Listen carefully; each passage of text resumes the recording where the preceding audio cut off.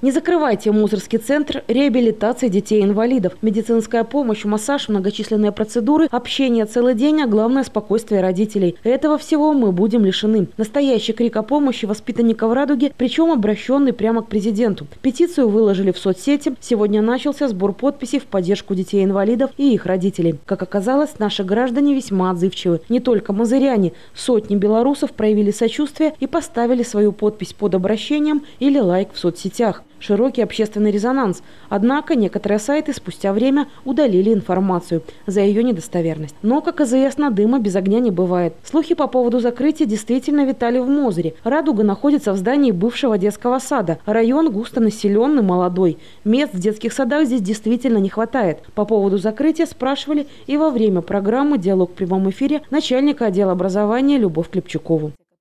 Слышала, что Центр «Радуга» хотят перепрофилировать в обычный детский сад. Так ли это и что будет с ребятами-воспитанниками? Вы знаете, это такой, ну, сложный как бы вопрос, я хотела бы сказать, но на сегодняшний момент данного вопроса не стоит. Мы пытались изучить ситуацию, э, посмотреть, возможно ли соединение нашего Центра коррекционного развития, который на площади, и «Радуги», но, еще раз повторюсь, вот в данный момент этот вопрос не стоит.